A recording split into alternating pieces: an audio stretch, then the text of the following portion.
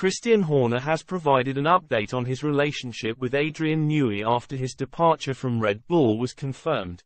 Christian Horner has insisted that he and Adrian Newey are still friends, despite the latter's departure from Red Bull.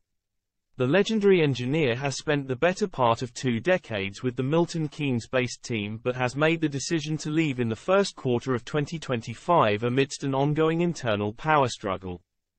Newey's departure has been speculated throughout the early stages of the season but was only officially announced ahead of the Miami Grand Prix with the British aerodynamicist heavily linked with a move to rivals Ferrari next year. Giving his insight, Horner explained, I've spoken to Adrian at length about it and Adrian's position is very clear.